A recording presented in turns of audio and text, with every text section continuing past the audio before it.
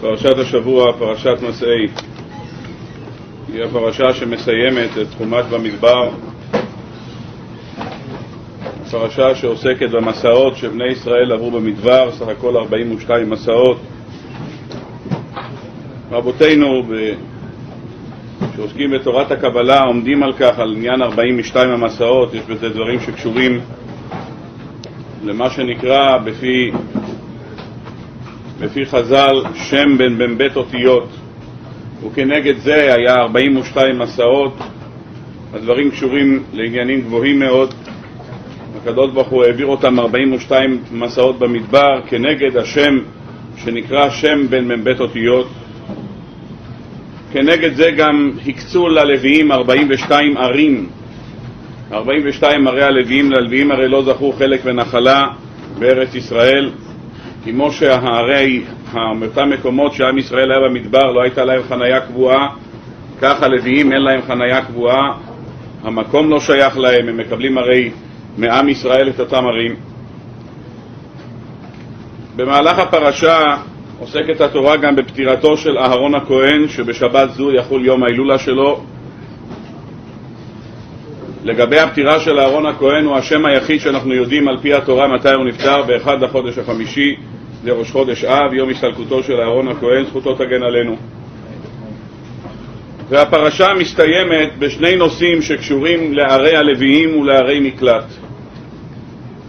ערי הלוויים אלה הערים שהקצו בני ישראל הלוויים, 42 עיר, ללוי לא היה חלק בנחלה, את הנחלה שלו הוא קיבל מעם ישראל, ואל אותם נחלה, את אותם 42 ערים, צירפו עוד ששת ערי מקלט, כפי שהתורה אומרת לנו כאן, בפרק ל"ה, פסוק א', וידבר השם אל משה בערבות מואב על ירדן יריחו לאמור, צו את בני ישראל ונתנו ללוויים מנחלת אחוזתם, ערים לשבת ומגרש לערים סביבותיהם תיתנו ללוויים.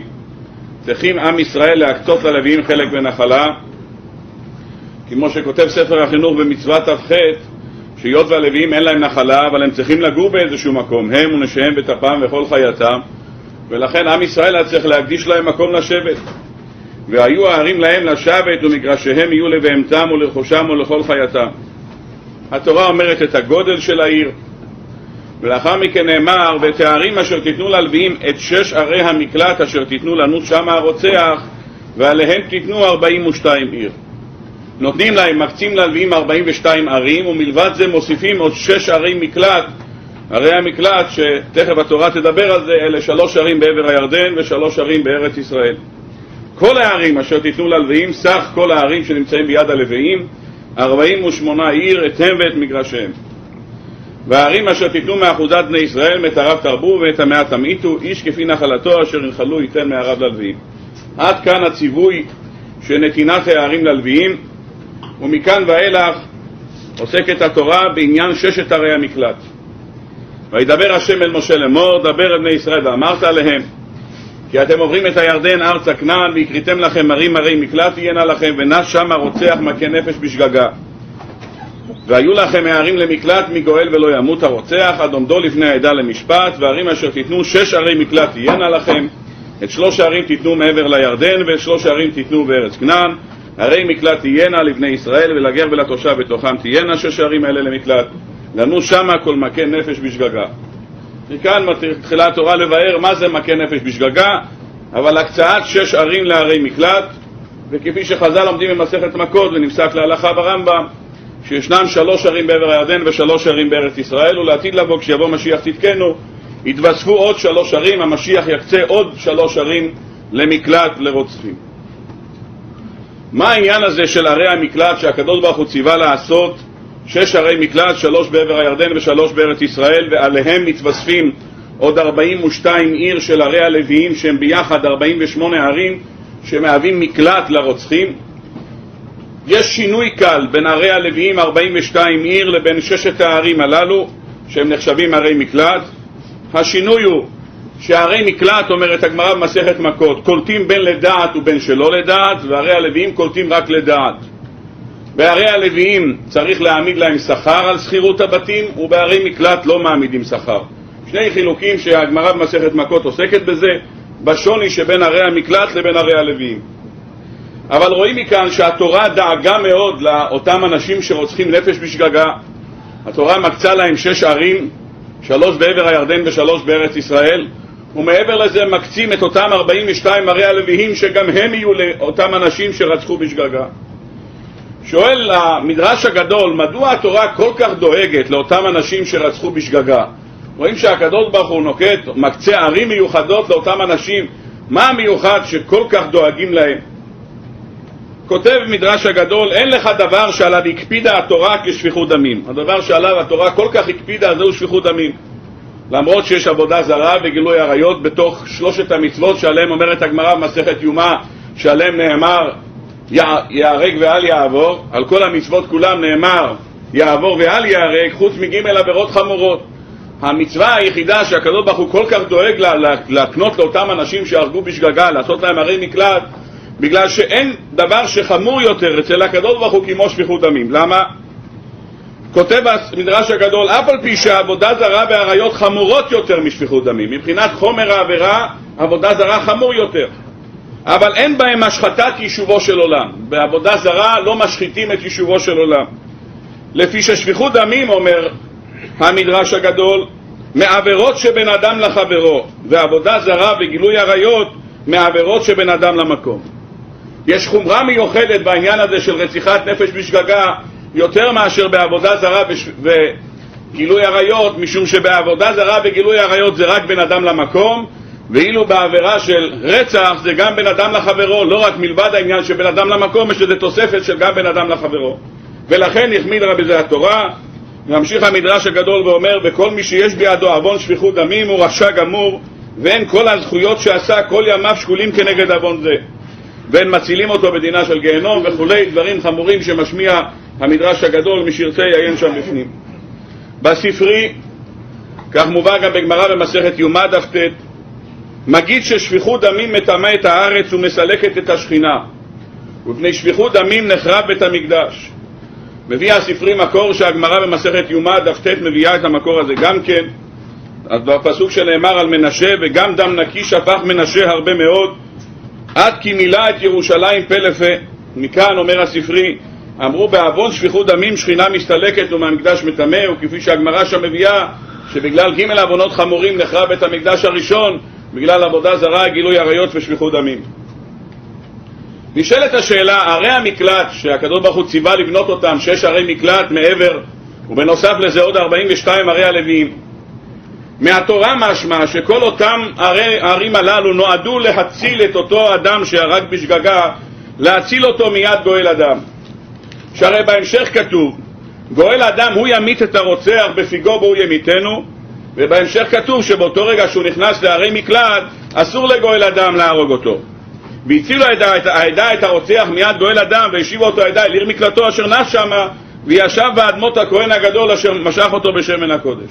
ואם יצא יצא הרוצח את גבול עיר מקלטו אשר נוס שמה, הוא מצא אותו גואל אדם מחוץ לגבול עיר מקלטו, ורצח אותו גואל אדם את הרוצח. אין לו דם אחרי שהוא יצא מאותם ערי מקלט, אין לו דם, מותר דמו. כי בעיר מקלטו יושב עד מות הכהן הגדול, ואחרי מות הכהן הגדול ישוב הרוצח אל עיר אחוזתו. משמע מדברי הפסוקים הללו, שעיקר בניית ערי המקלט, ששת ערי המקלט, ובנוסף לזה 42 ערי הלוויים, נועדו כדי להגן על האדם שרצח בשגגה, להגן עליו מפני גואל אדם. כך משמע כפשוטם של דברים. אבל בוודאי שמי שקורא את דברי חז"ל בגמרא מסכת מכות יודע שזה לא רק נועד להצלה מפני גואל אדם. ערי המקלט הללו נועדו לכפר על אותו אדם שהרג בשגגה. אדם שהרג בשגגה חייב כפרה, וערי המקלט הללו נועדו לכפר עליו. והשאלה שנשאלת, איך מכפרים? מה יש במקום הזה שהוא מכפר על אותם אנשים שרצחו בשגגה? והראיה שהמקום הזה נועד לכפרה, אפשר להביא כמה וכמה ראיות. א', גם אדם שאין לו גואל דם, הרמב"ם מביא עבד, ההורג את העבד גולה, אומר הרמב"ם, אדם שהרג את העבד גולה. מביאה המשנה, האב שהרג את בנו, אבא שבטעות הרג את הבן שלו, ואין גואל דם, האבא הוא גואל אדם, האם אבא כזה גולה? אומרת המשנה, האב שהרג את בנו גולה. אם ככה אתה לומד שהעניין הוא שאדם צריך ללכת לערי מקלט, זה לא רק בגלל הסיבה שהוא צריך להימלט מגואל אדם. המקום הזה מהווה מקלט מגואל אדם. אבל לא רק, גם אדם שאין לו גואל דם, גם כן מחייב, מחייב את האדם שהרג בשגגה לנוס אל עיר מקלט. מביאים ראיה מעבד, מביאים ראיה מאב שרצח את בנו, מביאים ראיה גם כן מאדם שנגמר דינו שהוא צריך לגלות לערי מקלט. אדם שבית דין פסקו שהוא צריך ללכת לערי מקלט כי הוא הרג בשגגה, ולאחר שנגמר דינו שהוא חייב לגלות לערי מקלט, הוא מת. אומרת המשנה, לוקחים את הארון שלו, את המיטה שלו, וקוברים אותה בערי מקלט, עד מות הכהן הגדול. ולאחר מות הכהן הגדול מוציאים את עצמותיו ומעבירים אותו לנחלת אבותיו. הווה אומר שגם שכבר לא שייך להרוג אותו, הוא אדם מת. בכל אופן לוקחים את הארון שלו, את המיטה שלו לקבורה בערי מקלט, כי השהייה בערי מקלט מהווה כפרה לאותו אדם שרצח בשגגה. הגאון רבי צבי פסח פרנק, זכר צדיק לברכה, מביא ראיה מדברי חז"ל. רש"י מביא את זה בפרשת משפטים. כתוב שכאשר הקדוש ברוך הוא אדם הרג במזיד ואין עדים, אז אי אפשר להרוג אותו, אי אפשר לקיים בו נפש תחת נפש. אז הקדוש ברוך הוא מזמן אותו ואדם שרצח בשוגג לפונדק אחד. ישנו אדם שהרג בשוגג והוא לא יודע שהוא הרג.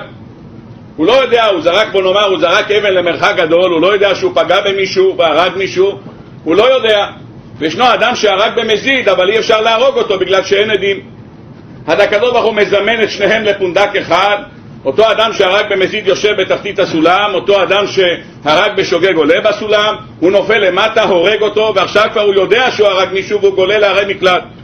שואל הרב פרנק, אם אותו אדם שרצח בשגגה לא יודע, וכל העניין של ערי המקלט רק נועד להציל מגואל אדם, אז בשביל מה הקדוש ברוך הוא מזמן את שניהם לפונדק אחד? אם אתה רואה שהקדוש ברוך הוא מזמן את שניהם לפונדק אחד, הווה אומר שהסיבה היא כדי להביא את אותו אדם שהרג בשגגה, להביא אותו לכפרה. זה כל העניין. כי אחרת לא היה צריכים לזמן אותם. אם אתה רואה שהתורה, הקדוש ברוך הוא מזמן את שניהם לפונדק אחד, אם כן המטרה שאותו אדם שהרג בשגגה ילך לערי מקלט. כך מביא הרב פרנק ראיה נפלאה. גלות מכפרת, אומרת הגמרא במסכת סנהדרין. ישנם דעות על מה מכפרת, אבל ודאי שגלות מכפרת. רבי יהודה החסיד בספרו אומר שאותו אדם נמצא במצב, זה מביא אותו להשפלה, זה מביא אותו לענווה, לשפלות ברך, אדם שגולה למקום אחר וחייב לעבור למקום אחר, זה שובר את ליבו, אז ודאי שהגלות הזאת מכפרת. במדרש, בתנחומה, בפרשת ואתחנן, על הפסוק אז יבדיל משה שלוש ערים בעבר הירדן מזרח השמש, אומר המדרש אין אז אלא לשון שירה שנאמר אז ישיר משה ובני ישראל את השירה הזאת. אומר המדרש בשמעה ששמעו בני ישראל את הציווי של אז יבדיל משה שלוש ערים, אז נודע להם שיש יבנו ערי מקלט לאותם רוצחים בשגגה, אמרו שירה.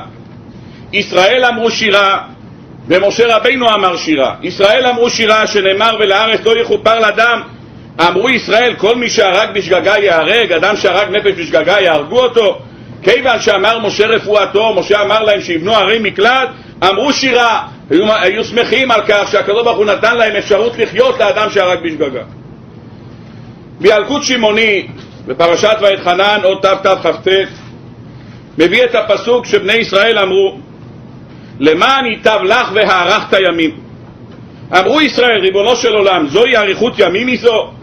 אדם הורג נפש בשגגה, אדם בטעות הרג נפש. גואל אדם רודף אחריו והורג אותו. נמצא שכולם מתים שלא בעונתם. אותו אדם שנרצח בלי כוונה מת, ועכשיו גם הרוצח בלי כוונה גם הוא ימות. אמר הקדוש ברוך הוא למשה, חייך, יפה הם מדברים, הדרישה שלהם דרישה יפה. לך והפרש להם ערי מקלט, שנאמר, אז יבדיל משה שלוש ערים מזרח השמש. אמר הקדוש ברוך הוא למשה, הזרח שמש לרוצחים, ונתת להם ערי מקלט שיגלו לשם. כשם שהשמש הזה מאיר לעולם, כך אתה תעשה ערי מקלט, שיזריחו את האור לאותם רוצחים. ממשיך המדרש ואומר, יתברך שמו של הקדוש ברוך הוא, שכן שוקד איך לזכות את בריאותיו, ועל כל העבירות נתן כפרה. על לשון הרע נתן פעמונים, שהיה הכהן הגדול לובש על שולי המעיל, יבוא קול ויכפר על הכל, רוצח נס לערי מקלט. אמר רב לוי, מאן דאכל קדרה ידע טעמה דתבשילה, מי שאוכל את הקדרה מרגיש את הטעם של התבשיל עצמו. ממשיך המדרש ואומר, כיוון שאמר לו הפרש ערי מקלט, אמר משה, למה, למה אתה מצווה להפריש ערי מקלט? אומר לה הקדוש ברוך הוא למוישה, אם יהיה האדם הורג בשגגה, יהיה בורח לשם. אמר משה, שירה אני חייב לומר. ריבונו של עולם, עכשיו אני צריך לשיר לך, שאף בי אירע הדבר שהרגתי את המצרי. אני עברתי אותו דבר, אני הרגתי את המצרי שנאמר וירא כן איש ויטמנהו בחול, וכמי שאמר לו, אחר כך נאמר לו, הלהורגני אתה אומר כאשר הרגת את המצרי, משה רבינו גם אמר את השם המפורש והרג את המצרי, משה רבינו הרגיש שיש לו גם כן איזושהי חובה שהוא הרג מישהו, באותו רגע שהוא שמע שיש תקנה לאותם אנשים שהרגו בשגגה, אז משה רבינו אמר, אם ככה אני חייב לומר שירה, כי גם אני היה לי את זה, אני אמרתי, הרגתי בן אדם על ידי שם המפורש. בזוהר כתוב, לא ראיתי אותו בפנים, אבל אמר לי יהודי שלומד זוהר, אמר לי שבזוהר כתוב שמשה רבינו גלה מהרגע שהוא יצא לבית פרו, מבית פרעה ועד הרגע שהוא נקרא על ידי הקדוש ברוך הוא לחזור למצרים, הוא גלה קרוב ל-60 שנה. ואותן 60 שנה משה רבינו היה בגלות כדי לכפר על, הריגת אותו מצרי. אפילו אם נאמר שיש למשה רבינו גיל של בן נוח, בן נוח שהרג גם כן חייב, השאלה אם זה בידיים או לא בידיים, אבל כך אומר הזוהר שלכן משה רבינו קיבל על עצמו גלות, והגלות הזאת נועדה לכפר על הריגת אותו מצרי. אמר משה, אם ככה, אם הקדוש ברוך הוא כך דואג לאותם אנשים שהרגו בשגגה, אז גם אני חייב לומר שירה, שאם ככה יש תקנה למה שאני עשיתי. המדרש כאן, מדרש רבה פרשת מסעי, מביא מה שאמר דוד המלך לקדוש ברוך הוא על העניין הזה של בניית הערי מקלט. טוב וישר השם, על כן יורה חטאים בדרך, פסוק בספר תהילים. עומר דוד, ריבונו של עולם, לולי רחמך וחסדיך שקדמו לאדם הראשון לא היה לו עמידה. בלי החסד שאתה עשית לאדם הראשון לא היה לו עמידה. למה? שנאמר, הרי אמרת לו, כי ביום אוכלך ממנו מות תמות. אתה אמרת לאדם הראשון, ביום שתאכל מעץ הדעת תמות. ולא עשית לו כן. האמת היא שלא הענשת אותו בזה. אלא מה עשית? הוצאת אותו מגן עדן, שנאמר ויגרש את האדם. האדם יצא לגירוש, גירשת אותו מגן עדן. למה גירשת אותו? ולמה נתגרש? אומר דוד המלך, הגירוש הזה הוא מעין גלות. למה? על שהביא מיתה על כל הדורות, והיה חייב למות מיד.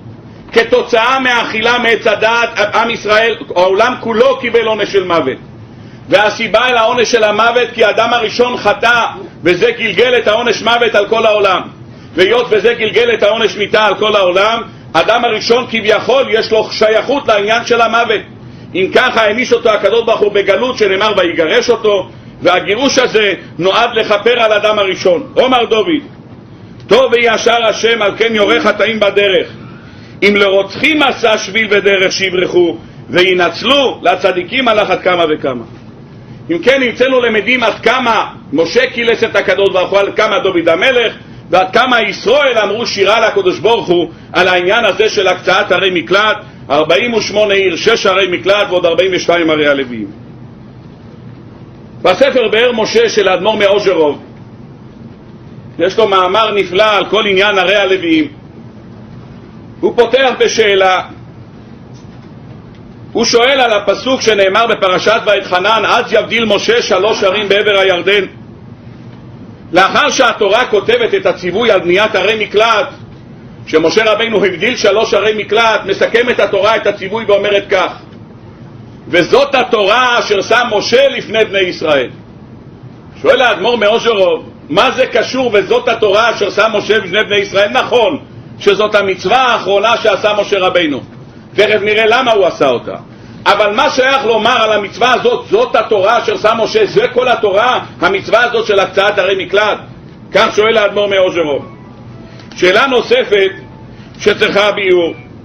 הגמרא במסכת מכות, המדרש בפרשת ואתחנן, מביא את הפסוק אז יבדיל משה שלוש ערים. שואלת הגמרא, והרי ידע משה רבינו שאין שום משמעות להקצאת הערים בעבר הירדן, שהרי כל זמן שאין שלושת ערי המקלט בארץ ישראל קולטות, אין שלושת ערי המקלט שבעבר הירדן קולטות. אם ככה שואלת הגמרא, מה טעם להקצות שלוש ערים בעבר הירדן מזרח השמש, כאשר אין שלוש ערים שבארץ ישראל קולטות, הרי זה חסר כל משמעות. אומרת הגמרא תירוץ, מביאה על זה את הפסוק אוהב כסף לא ישבע כסף זה משה רבינו שעליו נאמר אוהב מצוות לא ישבע מצוות משה רבינו אמר יש אפשרות בידי לעשות חצי מצווה מצווה שבאה לידי הקיימנה חצי מצווה, רבע מצווה העיקר לחטוף, כמו שאומרת הגמרא, יהלמה כבהילולה דמיה. העולם הזה דומה לאולם שמחות. אדם שמגיע לעולם שמחות, אז אם הוא מגיע בשמונה, אז הוא מקבל את המנות לפי הסדר. מנה ראשונה מוסקה, אחרי זה מרק, אחרי זה בשר, אחרי זה קומפוט, יש סדר. אדם שהגיע רק בעשר ורבע, יש עכשיו חלוקה של מנה עיקרית, אומר לו, אם אתה לא מביא לי לפי הסדר, אני לא אוכל. תחטוף, העולם הזה כמו עולם חתונות. אומר משה רבינו, חצי מצווה, רבע מצווה. היה על מכה בהילולה דמיה, מצווה שבאה לידי לא אקיימנה, נכון, זה לא מצווה שלמה. חצי מצווה זו גם מצווה. שואל האדמו"ר מאוז'רוב, הקדוש ברוך הוא סיבב שהמצווה האחרונה שיעשה משה רבינו זה הבדלת שלוש ערים. למה הקדוש ברוך הוא סיבב שזאת תהיה המצווה האחרונה שיעשה משה? אז נכון זאת לא מצווה שלמה, זה חצי מצווה, אבל משמע שהקדוש ברוך הוא סיבב את זה שהפעולה האחרונה שיעשה משה רבינו בשנות חייו זה תהיה הקצאת הערים הללו, שלושת הערים. ועל זה נאמר וזאת התורה אשר שם משה. נשאלת השאלה למה זו המצווה האחרונה שקיים משה רבינו. הגאון רבי אייזיק שר בספרו מביא את דברי הרמב"ן שם בפרשת ואתחנן שהרמב"ן אומר שמה שכתוב בפרשת דברים אלה הדברים אשר דיבר משה הרי משה הוכיח את בני ישראל על כל אותם עבירות שהם עשו במדבר במדבר, בערבה, מול סוף, פרן ותופל וחצרות, בדי זהב כל אותם מקומות שעם ישראל חטא כפי שרש"י מביא, הכל נאמר בתוכחה ברמז לא תוכחה מפורשת, אבל משה רבינו מאזכר להם את כל אותם מקומות שחטאו, ומכאן ואילך כל פרשת דברים, דיבורים קשים של משה רבינו על עניין חטא המרגלים, דברים קשים מאוד שאמר משה, הוכיח משה את בני ישראל לפני מותו. אומר הרמב"ן שלא סתם נכתבו הדברים הללו שלא לפי סדר. הסדר כך היה, כותב הרמב"ן כך: הוא פתח להם בדברי התוכחות, וכאשר אמר בפניהם תוכחותיו במה שעשו, ואזהרות על עבודה זרה ועל ייחוד השם, השלים להם שישמרו חוקיו ומצוותיו למען ייטב להם. אז אמר במעמדם לפניהם, עתה נקיים המצווה אשר ציוונו השם, ותהיינה בצר במדבר ורמות בגלעד וגולן בבשן. הרי מקלט עלנו שמה כל רוצח בשגגה. ואף על פי שאינם קולטות עד שיבדילו אותם שבארץ כנען, אמר מצווה שבאה לידינו נקיים אותה למען ייטב לנו. שואל רבי זיקשר, אם הגמרא אומרת שכל הסיבה היא שמשה רבינו הקצה שלוש ערים כי מצווה שבאה לידו הקיימנה, אז למה הוא חיכה קודם כל להוכיח אותם וקודם כל להסביר להם את כל העבירות שלהם ואחרי שהוא אמר להם את כל העבירות אז הוא הבדיל אם מצווה שבאה לידך קיימנה, קודם כל תקיים, תפריש את הערים, אחרי זה תוכיח אותם. לחטוף מצוות צריך לחטוף מיד, לא לחכות אחרי התוכחה. כך שואל הגאון רבי אייזיק שר. שאלה נוספת שצריכה ביור. הזכרנו את זה בשבוע שעבר, ממש על קצה המזלג. רש"י מאזכר את זה כאן בפרשה, זו גמרא במסכת מכות. שלוש ערים הקצו בעבר הירדן ושלוש ערים הקצו בארץ ישראל. ושואלת הגמרא, מה הפרופורציה? הרי בעבר הירדן היו שניים וחצי שבטים, בארץ ישראל היו תשעה וחצי שבטים, אז מה הפרופורציה? למה כאן שניים וחצי, שלוש ערים, ובארץ ישראל תשעה וחצי שבטים, גם שלוש ערים? אם יש לך בעבר הירדן עד שניים וחצי שבטים, שלוש ערים, היית צריך להיות הרבה יותר בארץ ישראל. עומר אביי, מביא אביי תשובה, רש"י מביא את זה בפרשה שלנו, עומר אביי, משום שנפי שרוצחים בגלעד, בגלעד יש הרבה רוצחים. נשאלת השאלה, מה הפירוש לפי שרוצחים בגלעד? תוספות כבר עומד על כך, שם במסכת מכות, ושואל, מה הפירוש לפי שרוצחים בגלעד? א' כל רוצחים לא גולים לערי מקלט, רוצחים הולכים בכלל, הורגים אותם. אדם שהרג בשגגה הולך לערי מקלט, מה זה לפי שרוצחים בגלעד? אומר תוספות לא, היות והגמרא אומרת שהקדוש ברוך הוא מזמן שניים לפונדק אחד, אחד שהרג במזיד, הקדוש ברוך הוא מזמן לו אחד שהרג בשוגג כדי להרוג אותו, אז כדי להרוג את אותם אנשים שהרגו במזיד, הקדוש ברוך הוא מזמן כאלה שיהרגו בשוגג. ואז ממילא לפי שרוצחים בגלעד, כדי להרוג את הרוצחים בגלעד, מביאים אנשים שיהרגו בשגגה. כך אומר תוספות. הרמב"ן אומר לא, הרמב"ן אומר היות שהיו אנשים שרצחו ולא היה עדים, הם רצחו במזיד אבל לא היה עדים, הם ברחו לשם לערי המקלט ולפי שרוצחים, רק הרוצחים האלה היו בלי עדים. תירוץ נוסף אומר הרמב"ן, שהעיר הזאת שנקראת גלעד יש לה סגולה מיוחדת לרצח. כך אומר הרמב"ן. יש לזה כמה וכמה מדרשים, לא על גלעד. כתוב בחז"ל שהמקום שנקרא שיטים, אומר המדרש, הוא מסוגל לזנות. כתוב ויחל ישראל לזנות בשיטים, אומרים חז"ל, שיטים מקום שמיועד לזנות. רואים שיש מקומות שמסוגלים לדברים מסוימים. אומר הרמב"ן, אפשר הוא אומר, הרמב"ן אומר, ייתכן שהמקום הזה שנקרא גלעד הוא מקום שיש לו סגולה לרצח. או שיאמרו שהיה אוויר ארץ גלעד מגדלת רוצחים מאז הייתה לגוי, לשון הרמב"ן. שאלת השאלה, מה יש במקום הזה שנקרא גלעד שהוא מסוגל לרצח, מה יש במקום הזה? שאלה נוספת שצריכה ביור. ישנה הלכה מאוד מעניינת, אותו אדם שגלה לערי מקלט, אומרת המשנה, תלמיד שגלה מגלים רבו עמו. לא עלינו, תלמיד אחד גלה, הרג נפש בשגגה, הוא נמלט לערי מקלט. הוא אומר, רבותיי, אני מאוד טוב לי פה עם הלווים ביחד, אבל אני רגיל לשיעור שלי, יש לי ראש ישיבה, אני בלי הראש ישיבה לא מחסיר הפעם את השיעור שלו, אני חייב לשמוע את השיעורים שלי. אני גם צריך את השיחות של המשגיח שלי, אני בלי זה לא יכול. הולכים לראש ישיבה אחר כובוי, לוקחים את המשגיח, שניהם ביחד, ברוך השם, אחד בן 90 ואחד בן 80, מכניסים את שניהם לטרנזיט ולוקחים אותם לערי מקלט ותשמע, יש תלמיד אחד אומר, הוא לא מסתדר בלי השיחות שלך. לוקחים אותו לערי מקלט, שאלת השאלה, איזה מין דבר זה? ישנה גם הלכה שהמשנה מביאה, הרב שגלה, מגלים ישיבתו עמו. הרב שגלה, אומרים לכל הישיבה, 400 בחורים, סליחה, ראש ישיבה שלכם נהג, הרג מישהו בשגגה, הוא הולך לערי מקלוט, לוקחים את כל ה-400 תלמידים, הולכים, בונים להם שם עיר חדשה, בונים להם ישיבה חדשה בערי מקלוט. נשאלת השאלה, אם כל העניין הוא שאדם שהרג בשגגה צריך שהרב יכוון אותו, הרב ידריך אותו בלימוד התורה, נשאלת השאלה, מצאנו עוד אחד שעובד פחות או יותר אותו תהליך כמו ערי מקלט. אמנם הוא לא גולה לעיר מקלט, אבל פרשת משפוטים למדנו שאדם שהרג בשגגה, אדם שגנב ואין לו מה לשלם את הגניבה, כתוב שהוא נמכר בגנבתו. הוא נמכר בגנבתו, יש אדון מסוים שרוצה לקנות כזה מין עבד, לא היו הרבה אנשים שרוצים לרכוש כזה עבד, צדיקים גדולים היו צריכים להכניס גנבים הביתה. אבל יש יהודי אחד שאומר, אה, ah, אני אכניס אותו, אני אעשה מפעל לשיקום גנבים. מכניס הביתה גנב, הוא משקם אותו, כתוב ותויג לו אימוך, אתה צריך לדאוג לו, כל דבר הוא ראשון, זה לא תהליך כל כך פשוט, והוא מכניס אותו הביתה. אומר אותו גנב, הוא גנב אצל מישהו, מי שקנה אותו זה יהודי שגר ביוקנעם, גר בצפת. אומר אותו אדם שנמכר בגנבתו, תשמע, אני פה מוכן להיות, אני צריך להיות, התורה אמרה, אני מוכן להיות פה.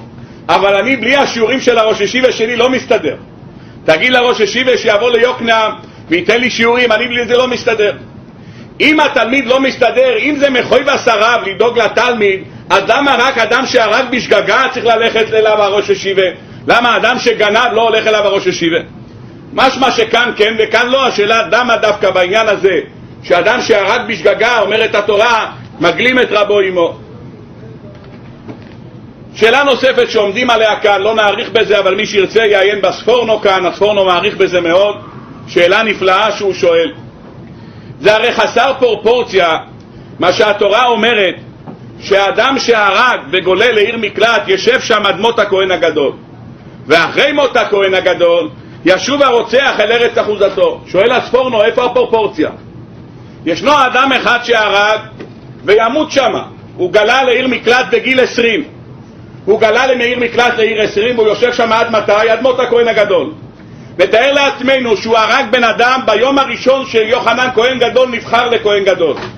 יוחנן כהן גדול היה כהן גדול 80 שנה. נו, אז בגיל 20 הוא הרג מישהו בשגגה, אז הוא גולה. עד גיל 80 שיוחנן כהן גדול כיהן 80 שנה, הוא כבר בן 100. יוחנן כהן גדול לא מת אחרי 80 שנה, הוא נעשה צדוקי, הביאו מישהו אחר. נו, אז הוא כבר מת בעיר מקלט. ישנו בן אדם שמת בעיר מקלט אחרי שזקנה ושיבה, הוא הגיע מעל גיל 100 והוא מת בעיר מקלט. וישנו אדם שהרג בשגגה והוא גולה לעיר מקלט והוא שם את המשאית בתוך, מגיע עם המשאית של אלוף ההובלות, הוא מגיע לעיר מקלט הוא מתחיל להוריד את הארגזים ופתאום מקבל בביפר הודעה שברגע זה הכהן גדול נפח את נשמתו בבית חולים ביקור חולים הוא אומר לאיש של ההובלות, תשמע, חוזרים בחזרה, תעשה פרצה, מעמיסים חזרה, שואל הספורנו, איזה מין פרופורציה זאת? אחד יומיים, אחד שעתיים, אחד שבוע, אחד תשעים שנה, זה הרי עונש שהוא חסר פרופורציה. כך שואל הספורנו, יש על זה מאמר נפלא, מי שירצה יעיין שם בפנים. בכל אופן, היסוד שאנחנו רוצים לעמוד עליו הוא היסוד של ערי המקלט, שאומר עליו דוד המלך, טוי ויושר השם, על כן יוארך בדרך. זאת הטבה נפלאה של הבורא יתברך לאותם אנשים שהרגו בשגגה לגלות לערי מקלט. מהו העניין של ערי המקלט, ומדוע ציווה הקדוש ברוך הוא לגלות דווקא לערי הלוויים? על כך עומדים רבותינו, גם אבר מוישה וגם רבי פיקשר בליקוטי שיחס שלו, ועוד כמה וכמה מהמפורשים שעומדים על כך בהרחבה, מה מונח בערי מקלט. דבר ראשון, כותב לנו כאן ספר החינוך, שהעניין הוא שאדם שהרג בשגגה שחייב לגלות לערי מקלט, מכיוון שבאה לידו התקלה הגדולה הזאת שהוא הרג בשגגה, שהצטער עליה צער גלות ששקול כמו צער מיתה, שנפרד האדם מאוהביו ומארץ מולדתו. רבנו בחייה בהערה אחרת לגמרי בהגת הגב שמדבר רבנו בחייה בנושא אחר, שואל רבנו בחייה מה זה משנה לאלמנה ולעשרת היתומים אם זה שהרג אותו הרג אותו בכוונה או שהוא הרג אותו בלי כוונה? היא נשארה אלמנה עם עשרה ילדים אז מה זה משנה נכון הוא הרג אותו בלי כוונה אז מה? אז אחרי לא מגיע לו עונש מוות? המציאות היא שהוא הרג נפש האלמנה עכשיו צריכה לגדל עשרה ילדים לבד היא נשארת לבד, אין מי שיחנך את הילדים אז בגלל שהוא הרג בלי כוונה, בגלל זה הוא הולך עכשיו לערי מקלט ואותו אדם שהרג בשוגג, במזיד, תולים אותו אם תולים על אדם שהרג נפש תחת נפש, אז צריכים להרוג גם אותו, אז ככה אולי ייזהרו יותר. אז שואל רבנו אחי, מה זה, מה זה העניין שהרג בשגגה, גולל לעיר מקלט, ואדם שהרג במזיד, הורגים אותו. אומר כאן ספר החינוך שהגלות הוא כזה עונש שמי שגולל לעיר מקלט הוא מצטער כמו צער מיתה שנפרד האדם מאוהביו ומארץ מולדתו ושוכן כל ימיו עם זרים. אז א' כל נבין שהגלות הזאת היא לא גלות פשוטה היא גלות שספר החינוך קורא לה שקולה כנגד צער מיתה. אבל הקדוש ברוך הוא רצה שאותם אנשים שגולים לערי המקלט יהיו אנשים שיתחברו עם שבט לוי. האנשים הללו יגורו ביחד עם שבט לוי וישו איתם כל התקופה הזאת שעד מות הכהן הגדול. והשאלה שנשאלת היא למה? הרב רובמן לספרו זיכרון מאיר, כותב מאיר רוזמן, כותב הרב רומן יסוד נפלא. הוא כותב לכאורה, הוא לא מבין בכלל למה האדם הזה מקבל תואר של רוצח. רוצח זה משמע מעשה בידיים. היום בספרות העברית קוראים לאדם שהרג בשגגה, קוראים לו הורג. ורוצח זה נקרא בדם קר. אבל לכאורה התורה קוראת לאותו אדם שהרג בשגגה, כל הזמן היא קוראת לו רוצח.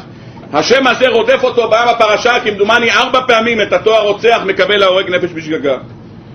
שואל הרב רובמן, הרי התורה כל הזמן מדברת על אותו אדם שירק בשגגה, שהוא עשה את זה בשגגה, הוא עשה את זה בלא ריאות, בלא כוונה, הוא עשה את זה, הוא לא מבקש רעתו, אז למה התורה קוראת לו רוצח?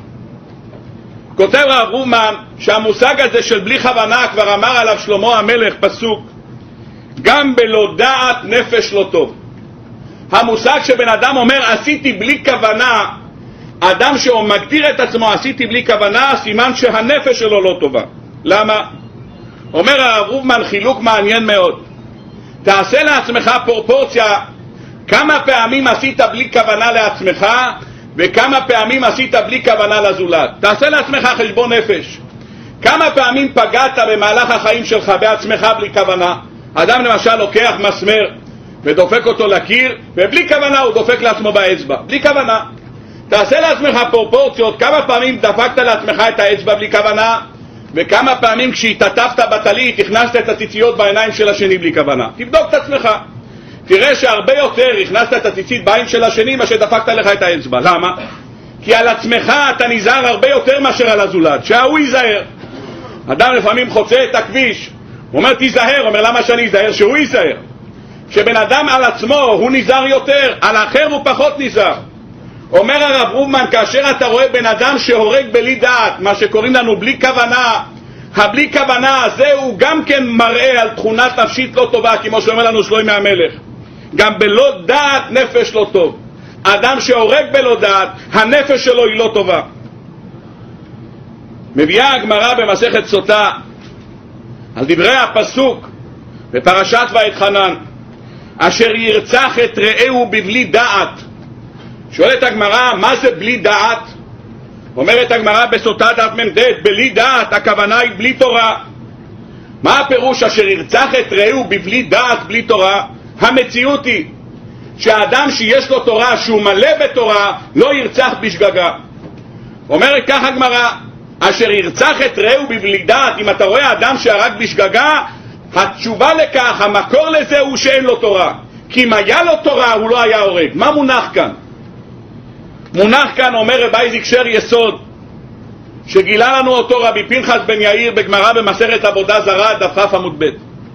רבי פנחס בן יאיר בנה סולם, סולם ערכים, סולם המעלות שהאדם מתעלה בהם, שרבנו אלוצטו, המסילת ישרים, בנה כך את ספרו על פי המעלות שבנה רבי פנחס בן יאיר. אומר רבי פנחס בן יאיר, הדבר הראשון הוא תורה. אם יש לך תורה, אומר רבי פנחס בן יאיר, תורה מביאה לידי זהירות, וזהירות מביאה לידי זריזות. כאשר אתה רואה בן אדם שהורג את חברו בבלי דעת, אומרת, אומרת הגמרא במסכת סוטה, מה זה בלי דעת? בלי תורה. אדם שאין לו תורה, אין לו את הבסיס שיביא לו זהירות.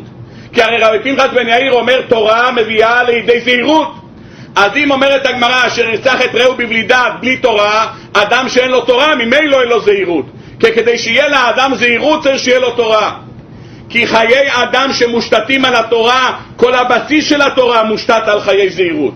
דקה לפה, דקה לשם, חילול שבת או, או, או שמירת שבת. ההבדלים הזהירות ממש במילימטר. נקודה קטנה בתוך הסכין זה נקרא כשר או טרף. הדברים, ללחוץ חזק על המקום של השחיטה זה דרוסו. הכל הרי נקודות דקות של זהירות, מה שהתורה מצווה אותנו להיזהר על כל צעד ושעל. אדם שיש לו תורה ושומר על התורה יש לו זהירוס. אדם שאין לו תוירו, אם אין לו תוירו אין לו את הבסיס שיהיה לו זהירוס. כי הבסיס לזהירוס, אומר רבי פנחס בן יויר, היסוד של זה נובע מתוירו. אומרת הגמרא במסכת סוטה, אשר ירצח את רעהו בבלי דס. אם אתה רואה אחד שהרג את חברו בלי דס, תדע לך שבלי כוונה, בלי זהירות, הפשט הוא בלי תורה. כי אם היה לו תורה, הוא היה נזהר. אם ככה, אנחנו יכולים להבין עכשיו הרבה יותר טוב מדוע ציווה הקדוש ברוך הוא שאותם אנשים שהרגו בשגגה ילכו לערי הלוויים. מה יש בערי הלוויים? כותב לנו הרמב"ם בהלכה אחת לפני האחרונה של הלכות שמיטה ויובל כותב הרמב"ם מה יש בערי הלוויים ולמה לא זכה לוי בנחלת ארץ ישראל ובביזתה עם אחיו מפני שהוגדל לעבוד את השם, לשרתו ולהורות רכב הישרים ומשפטיו הצדיקים לרבים, שנאמר יורו משפטיך ליעקב ותורתך לישראל. לפי כך הובדלו מדרכי העולם, לא עורכים מלחמה כשאר ישראל, ולא נוחלים ולא זוכים לעצמם בכוח גופן, אלא הם חיל השם שנאמר, ברך השם חילו, והוא ברוך הוא, זוכה להם שנאמר, אני חלקך ונחלתך. שבט לוי, אומר הרמב"ם, אין להם שום קשר עם חלק ונחלו. הקדוש ברוך הוא הנחלה שלהם, שנאמר אני חלקךו ונחלוסךו, אין להם שום קשר לעבודת האדמה, הם נקראים חיל השם, שנאמר ברך השם חילו, זה החיל שנקרא חיל הקדוש ברוך הוא. ואם זה נקרא חיל הקדוש ברוך הוא, רוצה הקדוש ברוך הוא שאותו אדם שרצח נפש בשגגה יתחבר לשבט לוי. למה? כי שבט לוי שם יושבים והוגים בתוירו. כמו שמביא כאן הרמב"ם, שהשבט הזה הובדל לעבוד את השם, לשורותו ולאורות רחב הישרים משפטיו הצדיקים, שנאמר יורו משפטיך ליעקב ותורתך לישראל. שבט לוי זה השבט של הטוירו, שעם ישראל מקבל את הטוירו משבט לוי. ישאל השואל, למה אתה אומר שרק שבט לוי הוא עמוד הטוירו? והרי כולנו יודעים ששבט יששכר הוא נחשב עמוד הטוירו. כל הסכם יששכר וזבולון העניין הוא של יששכר וזבולון, סמך זבולון בציסךו ויששכר באוהלךו. יששכר היה נחשב עמוד התורה. אז למה דווקא צריך לגלות, אם הקדוש ברוך הוא רוצה לחבר אותנו לתורה, שנאמר אשר ירצח את רעהו בבלי דעת, בבלי דעת הכוונה בלי תורה, כל הכוונה שהקדוש ברוך הוא רצו, רצה שילכו לערי הלוויים כדי להכניס בהם טוירו, שילכו לשבט יששכר, גם להם יש נחלה, גם הם יושבים והוגים בתורה. כותב לנו כאן ספר החינוך במצוות ת"ח ששבט לוי היה אסור לו לעבוד שום דבר. כותב כי שבט לוי מבחר השבטים ונכון לעבוד בית השם ואין לו חלק עם ישראל בנחלת שדות וכרמים. אסור לשבט לוי לעבוד בשום דבר. הדבר היחיד ששבט לוי עושה הוא חיל השם, כמו שמדבר, ברך השם חילו. נשאלת השאלה, עומד על ככה הוא שמח, כמה פעמים בשנה עבד לוי בבית המקדש? כולנו מחכים לבית המקדש שיבונה, נראה ונזכה לראות כהנים בעבודתם, ונזכה לראות לוויים בעבודתם, כולם נראה אותם, גם את הלוויים וגם את הכהנים, כל אחד בעבודתו. כמה פעמים עובד שבט, כמה פעמים עובד כהן וכמה פעמים עובד לוי. כותב הרמב"ם שכל כהן וכל לוי עובדים יומיים בשנה. למה? מביא הרמב"ם שחילקו את אותם משמרות כהנים ל-24 בתי אב, 24 משמרות, וכל משמר היה עובד, היה עובד פעמיים בשנה, כי בשנה אחת ישנם 52 שבתות, 24 משמרות כהונה ישנם, 24 משמרות כפול 2 זה 48, היה יוצא שלכל לוי ולכל כהן היה יומיים בשנה עבודה.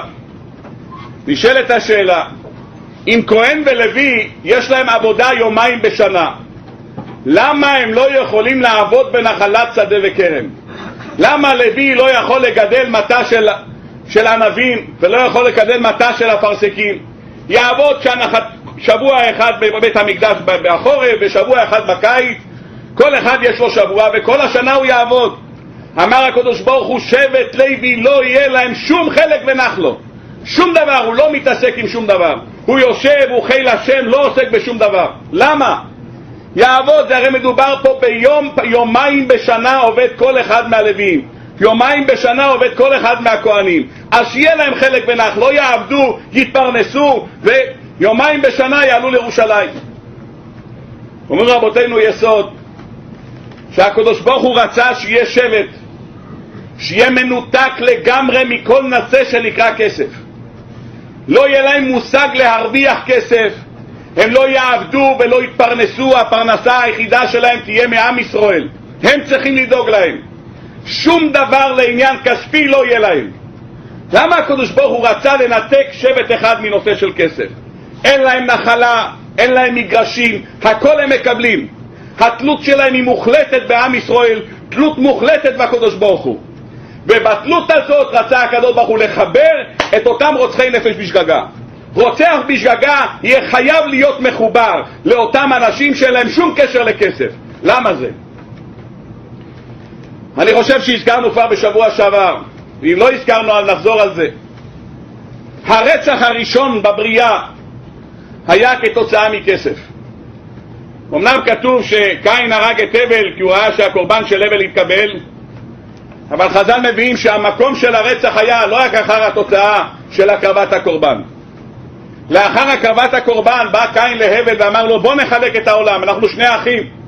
בוא נחלק את זה לדברים ברורים. מה אתה עושה, מה אני עושה? אומר קין להבל אני לוקח נדל"ן ואתה לוקח מטלטלין אומר לו בסדר. אחרי שסגרו ביניהם את העסקה אומר המדרש אומר קין להבל עכשיו אתה צריך לשלם לי על זה שאתה הולך על הקרקע שלי הקרקע היא שלי אז כמו ששמים פה במטחן על כל רבע שעה שקל אתה תשלם לי שקל כל רבע שעה שאתה הולך. לא הרבה, ארבע שקלים לשעה, לא מבקש הרבה. אומר לו הבל, מה זה אומר? יש לך שני ברירות, או שאתה משלם או שתתחיל לעוף. נו, שני אחים, שיחה מעניינת בין שני אחים, ואחרי התוצאה של השיחה הזאת קם קין, ואחרי שהבל אמר לו שהוא לא מתכוון לשלם, הוא הרג אותו. כתוב שבשעה שהקדוש ברוך הוא נגלה אל קין ואומר לו, מה עשית? כל דמי אחיך צועקים אליי מהאדמה, כתוב שקין אמר לקדוש ברוך הוא, מה אני יכול לעשות? לא ידעתי בכלל שאדם יכול למות, דקרתי אותו מכל כיוון, אבל לא חשבתי שמתים, לא ראיתי, זו פעם ראשונה שאני רואה מוות בכלל, לא ידעתי. אם ככה יש לי דין של שוגג, אמר לה הקדוש ברוך הוא, נכון, אתה שויגג, לא ידעת, עדיין לא נאמר האיסור הזה של רציחה, לא ידעת, אבל כדי לכפר על מה שעשית תהיה חייב גלות. שנאמר נע ונע תהיה בארץ.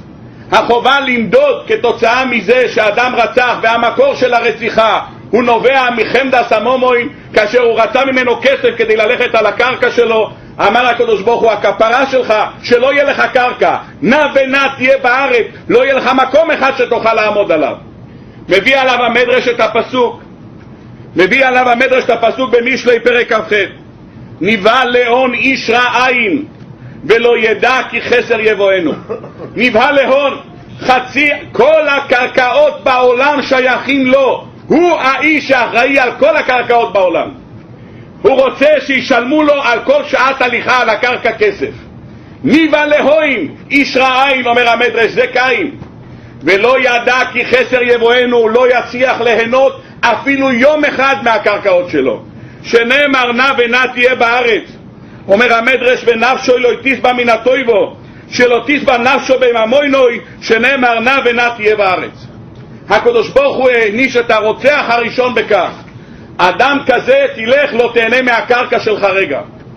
רואים שבן אדם שיש לו קרקע אדם שיש לו נדל"ן הנדל"נות הרכישה של הקרקע נותנת לו תעצומות כאלה שהוא מרגיש את עצמו בטוח על האדמה שלו. יש לו חמדת הממון, אז למרות ששפט איסוכו הוא שבט של טוירו, אבל עם כל זה יש לו נחלה. אמר הקדוש ברוך הוא, אני אתן שבט אחד שאין לו שום נחלה, לא יהיה לו שום אחיזה בארץ ישראל. האחיזה היחידה יש לו מה שעם ישראל נותן לו נחלה. אומרים חז"ל, שכאשר משה רבינו שמע את דברי בני גד ובני ראובן, גדרות צאן נבנה לצוננו פה וערים לטפנו. אנשים שמסוגלים להקדים את הצאן שלהם לפני הילדים והנשים שלהם. אומר מוישה רבינו, אלה האנשים בעלי חמדת ממון. באים בעלי המוסר ואומרים כאן רעיון אדיר. אדם נבנה בסולם הערכים שלו על פי הסולם שהוא בונה. אדם קובע את סולם הערכים שלו. כשחשוב לו דבר אחד, הדבר השני מתגמד. הזכרנו את זה בשבוע שעבר, הטפל והעיקר. במקום שהכסף הוא בסיס עיקרי, חיי האדם אין להם ערך.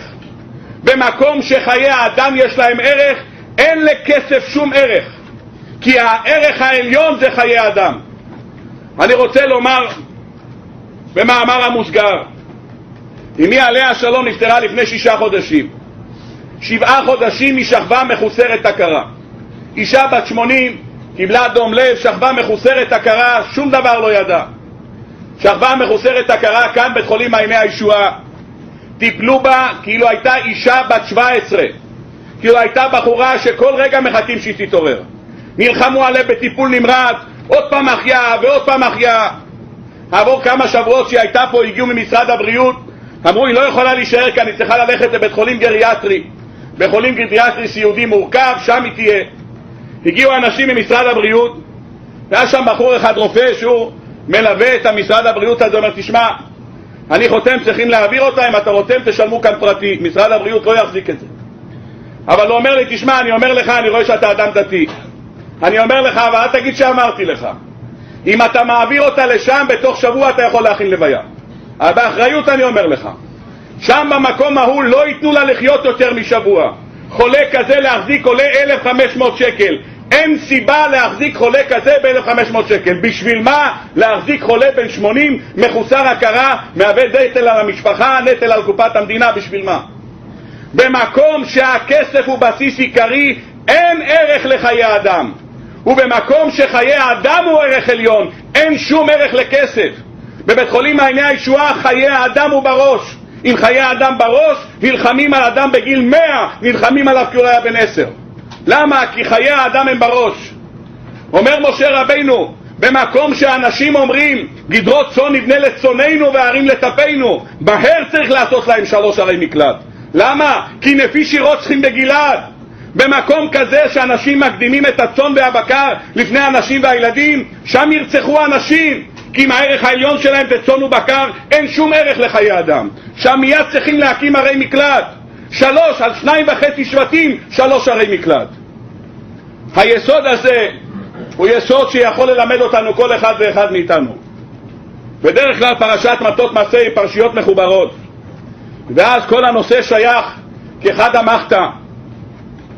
דיברנו בשבוע שעבר, דברי הירושלמי, שהסיבה לשנאת חינם נובעת בגלל חמדת הממון. אבל מעניין מאוד שהמדרש בשבוע שעבר פרשת מטות מביא פסוק מהנובי. אל יתעלל החכם בחוכמתו ואל יתעלל העשיר בעושרו, כי אם בזאת יתעלל המתעלל השכל וידוע אותי. מה הוא בא כאן למדרש להביא את הפסוק הזה על בני גד ובני ראובן? הוא בא לומר, אתה רוצה, רואה אדם שמתעלל, הוא מתעלל במשהו. אל יתעלם החכם בחוכמתו, העשיר בעושרו, כי אם בזאת יתעלל המתעלל, השכל וידוע אותי. כשאתה רואה שהם כל כך מהללים את הכסף שיש להם, ידרות שון יבנה ומקנה רב אוי אוי לבני גד ובני ראובן, עצום מאוד. אה, איך אומר הרב אמנון יצחק? יש לו בוכתא, שוכתא ויחתא. אה, הגוי שעשיר גדול מאוד. נו, אז יש להם מקנה רב אוי אוי בני ראובן, בני גד, עשירים מופלגים. אומר הפסוק, אל יתעלל החכם בחוכמתו, אל יתעלל העשיר בעושרו, כי אם בזאת יתעלל המתעלל, השכל וידוע אותי. מה מתכוון המדרש לומר? המדרש בא לומר, דע לך, אתה רוצה לבחון את עצמך, איפה אתה נמצא? נגד וראובן היו חמדה סמומן, מה, מה יש לי איתם? אני ברוך השם לומד מסילת ישורים, מה קשור אליהם בכלל? הם חמדה סמומן, אני מנותק מזה. איפה אתה נמצא? קצת, יש לך חמדת הממון, אין לך, אתה באמצע קצת חמד, קצת לא, איפה אתה נמצא? אומר המדרש, יש לי פרמטר, אני יכול לבדוק. יש לי טסט, אני יכול להגיד לך בדיוק איפה אתה נמצא. בוא אומר, תבדוק את עצמך. היום, ברוך השם, אתה הולך כל יום לשיעור דף היומי, אין יורג ובעלי אבוי. כל יום אתה בשיעור דף היומי, לא רק כזה, גם בבוקר, גם אחרי צהריים. דף היומי אצלך הוא לחם חוקה אלפונוי תומי, תמיד, כל יום. יום אחד לא יצא לך להגיע. גורם לך צער עצום. יש לך כביאס, קרה לך פאנצ'ר, היית אנוס, לא יכלת להגיע. יש לך צער גדול. כמה מעסיק אותך הצער הזה? תלוי. תבחן את עצמך, אומר המדרש, כמה זמן מעסיק אותך הפסד של 500 דולר. היה לך, נסעת, פתאום נסעת, שכחת להוסיף מים ברדיאטור, פתאום אתה רואה יוצאים עדים, הלך הרדיאטור עם חצי בקונגרוש, שלושת אלפים שקל. שלושת אלפים שקל זה משכורת של חצי חודש. כמה אתה עצבני מזה? הלך שלושת אלפים שקל, שבועיים בחודש עבדתי בשביל המוסכניק. מרגיז. מרגיז הדבר הזה. אומר המדרש, בוא תבחן את עצמך. כמה זמן העסיק אותך הפסד של שלושת אלפים שקל, וכמה זמן העסיק אותך הפסד של הדף היומי. הדף היומי פחות או יותר חצי שעה, אתה מסודר. איחרת מחבת שאיחרתי, ראיתי מתי אני אגיע, איך אני אגיע, נשמע בטלפון, נשמע, הטלפון עובר, בקיצור זה עובר, אחרי עשרים דקות זה נגמר. כמה זמן מעסיק אותך שלושת אלפים שקל? כל החודש. החודש הזה לא קונים כלום כי אין שלושת אלפים שקל. החודש הזה לא ככה אין שלושת אלפים שקל. כל הזמן זה מעסיק אותך. אל יתעלל החכם בחוכמתו ולא העשיר בעושרו, כי אם בזאת המתעלל, יתעלל המתעלל, השכל בידוע אותי, בוא נראה עד כמה אתה מרגיש צער כשיש לך אובדן כסף, ועד כמה אתה מרגיש צער כשיש לך אובדן של שיעור, אותו דבר בשמחה, כמה אתה שמח שהצלחת להבין טויסס, וכמה אתה שמח שאתה מרוויח 500 דולר, תבחן מה מעסיק אותך יותר, מה משמח אותך יותר. שמעתי פעם מהגאון רב רובי קרשטיין, שיהיה בריא. אני לא קובע עובדה מה צריך כל אחד לעשות, כל אחד מאיתנו, ברוך השם, יש לו ילדים והוא מחנך אותם, כל אחד יחנך בדרכו, אבל הרעיון הוא רעיון. אמר לי פעם רב ראובן, אדם מגיע הביתה בשבת, והילד שלו, רחמון אל נכנס לשירותים, ובלי כוונה, הוא שישה ימים בשבוע הוא רגיל להדליק את האור, הוא הדליק את האור. ויהי אור, נו, טוב, אתה רואה, נהיה אור בשירותים. מה בן אדם עושה? תלוי, יש כל אחד עם המנהגים שלו, אני לא קובע, נושא חינוכי לא קשור לנושא שאנחנו מדברים עליו. יש אנשים שיצעקו, יש אנשים שייתנו מכות, ויש אנשים שיגידו, קורה, קורה. שישה ימים בשבוע הוא רגיל להדליק, לא היה חושך, הוא מפחד, הוא ילד בן שש, קורה, מה לעשות? קרה. התורה גם כן אומרת, נפש כי תחתא בשגוגו, זה קורה. האדם הוא אדם, קורה. הילד מגיע מהבית ספר, הוא מאוד צמא, הוא מגיע למקרר, אתה יושב במטבח ואתה רואה שהילד שלך תופס את הכוס, הוא כולו מאוד מזיע, הוא מאוד צמא, יום 35 מעלות בחוץ, הוא מגיע הביתה ותופס את הבקבוק, הוא אומר, הוא הולך להתעלף, אתה רואה שהוא כולך נוטף מים, הוא כולו, אתה תופס את הבקבוק ושכח את השעה כל יום בדבורוי ומכניס את הבקבוק, ראית אומר, או, מה קרה לך? שכח. מיד הוא מברך שעה כל יום בדבורוי בכוונה והכל בסדר. שכח, קורה. יש אנשים שייתנו סטירה, יש אנשים שיצעקו, יש אנשים שיסבירו לו, שכל מי שנהנה מהאילו מה זה בלא יברוכו כאילו מועל יש אנשים כל אחד בדרכו אמר לי מקרני של המבחן הוא מה אתה עושה כאשר הילד שלך מגיע הביתה יום חורפי ברוך השם יש לו מגפיים. וגדול יום ירידת גשמים אומרת הגמורה בתייניס כי יום תחייה סמייסים. הילדים רק רואים גשם כולם מחיי המתים. שמחים ברוך השם. יש להם אור השם מים ויש לו מגפיים והוא מחפש את השלולית הכי עמוקה כדי לבדוק כמה סנטימטר ירד. הוא בא הביתה כולו מלא בוץ מלמעלה עד למטה זה הרי תחייה סמייסים יוצאים הרי מהאדמה. אז הוא בא ככה כולו מלא מים ושמחו וסוסן הוא מגיע הביתה וההורים שלו יושבים שינה צהריים והוא עולה על המיטה החדשה שעכשיו קנו בסלון הוא רוצה להראות לאחותו כמה מים היה עד איפה זה הגיע לו. הוא מטייל על הסלון, על הספה, הולך הלוך חזור וכל הספה יש סימנים של המגפיים. אמר לי רבו מקרנשטיין בוא תראה השאלה מה אבא עושה כשהוא יוצא מהחדר שינה ורואה את זה. אם הוא אומר קורה קורה אז זה בסדר. אז הכל אצלו קורה אבל סביר להניח שכאן אבא לא יגיד שזה קורה. אשר כוחו בדרך ויזנב בכו כל הנחושים אחרת. הוא מכניס לו. אומר אז למה כשאתה מדליק את האור בשבת זה קורה? ושהוא שכח שהכל יהיה מדברו זה גם קורה. ובדיוק כאן אומר זה לא קורה ילד לא מטפס על הספה. למה? כי השאלה מה כואב לך באמת? השכל בידו אויסי בוא נראה מה חשוב לך הספה חשובה לך או שבס חשוב לך? סולם הערכים נבנה על פי מה שאתה בונה. אתה בונה את מה שאתה רוצה. האם באמת השבת, בשבת אתה צועק עליו וכשהוא הולך על הספה אתה אומר לו מוישה לא נורא, זה קורה. אז הילד יודע שסולם הערכים שלך השבת יותר חשובה מהספה. אתה בונה את סולם הערכים מה שאתה רוצה. באה הפרשה שלנו, פרשת נשאי ומסיימת את כל נושאי חומש במדבר שמשה רבינו מסיים וזוהי סעתוירו אשר שם מוישה לפני בני ישראל. ערי הלוויים, הרב של משה רבינו שהיה משבט לוי, זה התורה ששם משה להקים ערים שבהם ישבו ויהגו בתורה שהתורה תהיה הבסיס של כל חיי האדם. אלה ערי הלוויים זו הייתה כוונת הקדוש ברוך הוא שאותו אדם שהרג בשגגה אותו אדם שהרג בבלי דעת, זאת אומרת הגמורה בלי טוירו, יחזור בעצמה בחזרה למושג הזה שהערך העליון הוא תורה. אדם שיודע שבלי דעת הערך העליון הוא תורה, האדם הזה דבק ללוויים שכל מה שהיו זה היו חיל השם, אנשים שרק עבדו את אבוידס השם. ממילא, אדם שידע את זה, יבנה לעצמו את סולם הערכים הנכון באבוידס השם. בפסיקתא דרב כהנא כתוב כשיבוא משיח צדקנו, כולנו מחכים לזה, אומר הקדוש ברוך הוא, עם ישראל שואל אותו, מה יהיה כשיבוא המשיח, מי יהרוג את אותם גויים שהרגו אותנו בשוגג ובמזיד? אומר הקדוש ברוך הוא, שואלים אותו, האם בגיהנום ימותו, מלאכים יהרגו? אומר הקדוש ברוך הוא לעם ישראל, אתם תהרגו אותם, שנאמר, גוי אל אדם יום יסתר רוצח, אתם גואלי אדם. יזכנו הקדוש ברוך הוא שנזכה כולנו לראות בבניין בית הבחירה במהרה בימינו אמן ואמן. ומכנה ונגש מראש הקדוש ברוך הוא לדקו את ישראל לפיקה עיר בו לתוירו מצווה שנאמר אז נלך עובד למען צדקו יד ישראל